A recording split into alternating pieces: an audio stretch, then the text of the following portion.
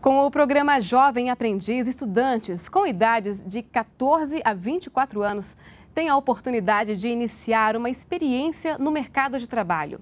Em 2005, o programa encaminhou ao mercado 57 mil jovens e a meta é chegar a 1 milhão e 220 mil aprendizes até o final deste ano.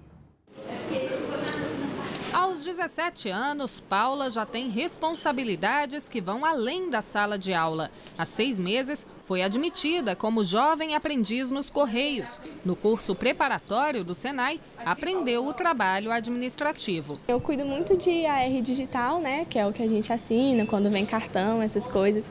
Cuido da LOEC, de pesquisas, que é o que a gente assina quando a gente recebe as encomendas na nossa casa. Serviço todo administrativo. Aluna do terceiro ano do ensino médio, a adolescente planeja cursar enfermagem numa universidade federal e acredita que a experiência como jovem aprendiz já fará diferença no currículo. A gente pode começar com 14 anos, isso já é um passo enorme. O conhecimento que a gente ganha vale a pena, não só pelo dinheiro, não só pelo ticket, não só por isso, mas acho que vale mais a pena pelo conhecimento, pelo aprendizado que a gente consegue no programa.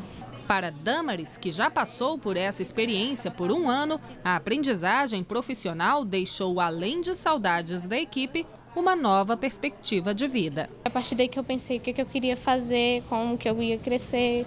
Aí, a partir dessa experiência que eu tive, eu cresci um pouco mais e quero continuar crescendo. Em todo o país, cada vez mais jovens passam por essa experiência de aprendizagem. Em 2005, as empresas contrataram pouco mais de 57 mil aprendizes. Em 2014, esse número saltou para mais de 402 mil. A meta do Ministério do Trabalho é ultrapassar 1 milhão 220 mil jovens inseridos no mercado formal de trabalho até o fim deste ano. Para participar, basta ter de 14 a 24 anos e estar cursando o ensino fundamental ou médio. Pessoas com deficiência de qualquer idade também podem ser contratadas como aprendizes pela lei. A duração máxima do contrato é de dois anos, com carteira assinada, salário mínimo e todos os direitos garantidos. Empresas de médio e grande porte devem ter no mínimo 5% de jovens aprendizes no quadro de funcionários. O diretor destaca as vantagens para o setor privado. Esse jovem ele vai se incorporar, ele vai saber do cotidiano dessa empresa e vai contribuir muito, ainda mais porque vai ter a qualificação, ele vai ter experiência, porque ao mesmo tempo que ele trabalha, ele vai estar sendo qualificado. E nós criamos em parceria com o governo, com o Ministério da Educação, com a Secretaria da Micro e Pequena Empresa, o Pronatec Aprendiz. Né?